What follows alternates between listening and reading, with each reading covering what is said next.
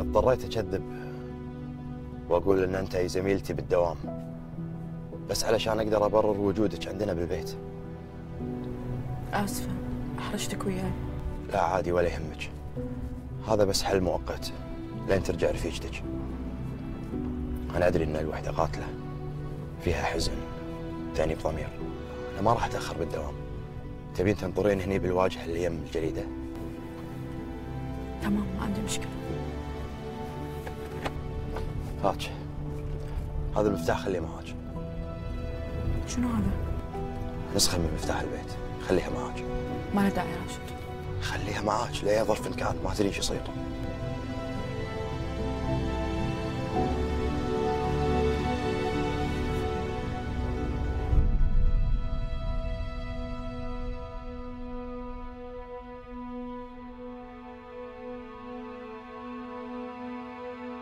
شو أسوي يا يمه مخنوق حيل. ماني عارف وين أروح. واشكي حق منه. وايد ضايع حتى شوق أختي. ما هي شوق اللي أعرفها. ابي انحاش من الدنيا وابي انحاش من الناس. يما بس ابي حضنك بس حضنك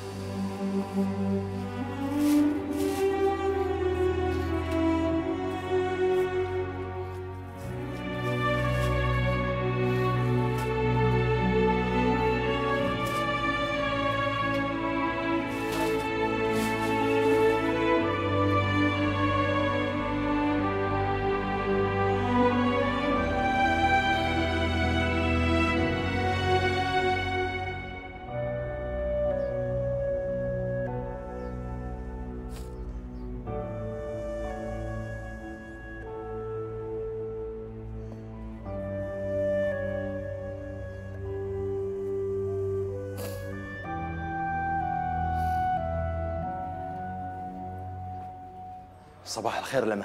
صباح الخير راشد.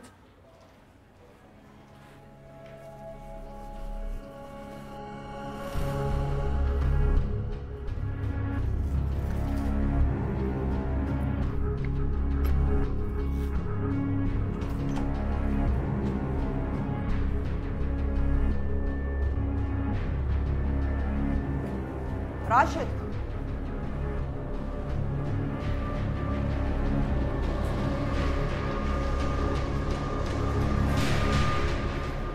أخيرا وصلت يا أستاذ سامحيني تأخرت لأن كانت عندي شوية ظروف وينها؟ من اللي وينها تشطر علي يا راشد؟ المجرمة فاتن وينها؟ أستاذة ترى الموضوع تحداني؟ تبي تسوي مثل أختك دانا؟ تبي تحط راسك برأس امتثال؟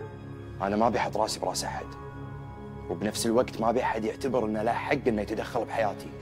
البنت هذه مجرمة. ذبحت ولدي. ما شاء الله عليك متبنيها ومقعدها في بيتك. تبي تضيع نفسك؟ تصدقين عاد لو ما أنت عزيزة وغالية علي كان ما سمحت لك إنك تتكلمين معاي بهالموضوع. هدي اعصابك خلينا نتفاهم. أنا ترى مليت من الناس اللي قاعدة تتدخل بحياتي. مالك شغل بأصحابي اسمع يا راشد. أنا رايحة اجتماع. ولما أرجع ألقاك انتهيت من موضوعها وطلعتها من حياتك. طلعتها من حياتك للأبد. ولا تراني ذبحتها. وأنت تحمل ذنبي.